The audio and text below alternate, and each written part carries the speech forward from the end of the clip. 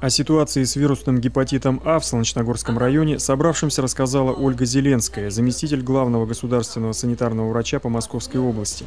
По ее словам, рост заболеваемости у нас составляет 26%.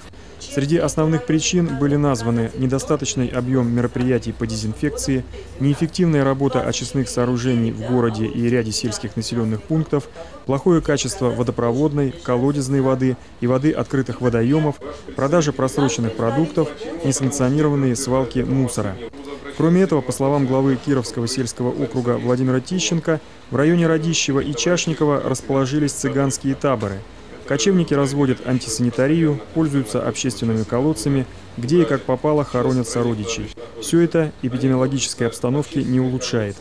Комиссия вынесла свое решение. Его основные пункты следующие.